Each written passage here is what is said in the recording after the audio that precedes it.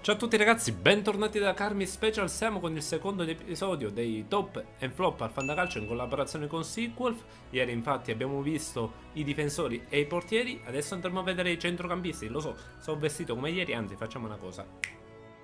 Ok, così dovrebbe andare bene. Dicevamo, oggi parleremo di centrocampisti. Vi ricordo che non saranno i migliori centrocampisti al calcio, ma coloro che in relazione al costo all'asta, quindi in base a quando l'abbiamo pagati al fantacalcio, poi hanno reso meglio, quindi hanno sorpreso positivamente, nel caso de, invece del video di Sequel, quelli che hanno deluso. Partiamo dalla quinta posizione infatti dove abbiamo messo Ilicic. Josip Ilicic infatti ha fatto ben 11 gol, una fantamedia tra l'altro altissima, ha fatto anche 8 assist e ha reso bene. Da lui diciamolo ci aspettavamo qualcosa ma non mi aspettavo sinceramente un rendimento così alto da top praticamente di reparto, quindi complimenti a Ilicic. Al quarto posto abbiamo messo Veretu perché lui era sconosciuto, infatti pochissimi forse l'hanno preso già a settembre, qualcuno magari esperto che aveva intravisto qualcosa su di lui, ha reso anche bene perché ha tirato bene calci di punizione e due rigori li ha messi dentro, uno l'ha sbagliato, l'unico difetto era soprattutto i cartellini, ha preso diverse ammunizioni e anche un cartellino rosso,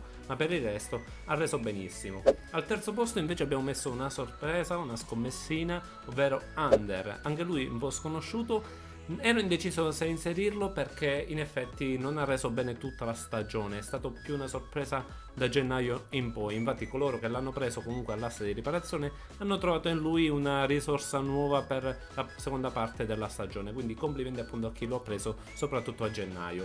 Al secondo posto invece abbiamo messo un giocatore che mi ha fatto impazzire ragazzi, Verdi ragazzi, Simone Verdi un rendimento mostruoso. Ha fatto, se non sbaglio, una decina di gol, eh, 9 assist, veramente, e anche voti molto, molto buoni, anche quando non portava bonus. Quindi un rendimento da top di reparto e nella maggior parte dei, centro, diciamo, dei fantacalci spuntava centrocampista. Proprio per questo è stato veramente un top acquisto. Al primo posto non potevamo non mettere lui, Luis Alberto, veramente l'anno scorso aveva fatto una brutta stagione, tra l'altro spuntava attaccante nello scorso anno, quest'anno da centrocampista ha fatto il fenomeno ha fatto se non sbaglio 11 gol, 12 gol, qualcosa del genere, ha fatto una tredicina di assist, ha segnato in qualsiasi modo e ha preso anche molti voti buoni, quindi veramente per chi lo ha preso soprattutto come scommessa a pochissimi crediti ha fatto l'affare dell'anno, quindi complimenti a Luis Alberto. Detto questo, se siete d'accordo, sembra un pollicione in su ragazzi, però anche un episodio domani